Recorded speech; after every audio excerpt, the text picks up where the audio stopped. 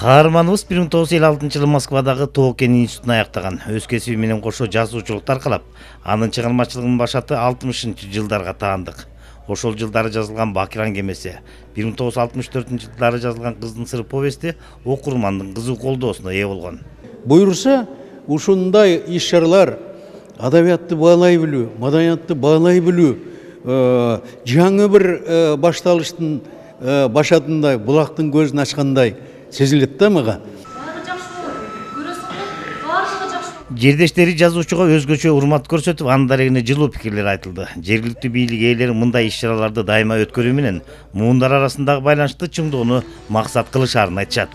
Өзүбүздүн жазуучубуз кийинки келаткан жаш муундар өзүбүздүн окуучу балдарыбыз ушунун эмгегин билип китептерин окуп анан кийинки келген жаш муундарды бір өстүрүү үчүн ушул жумуш мааракени өткөзүп жатабыз. Иш чараны райондун маданият кызматкерлери жагымдуу ыр күүлөр менен коштошту сталбек абдыраев мирлан макеев коомдук биринчи канал сокулук району.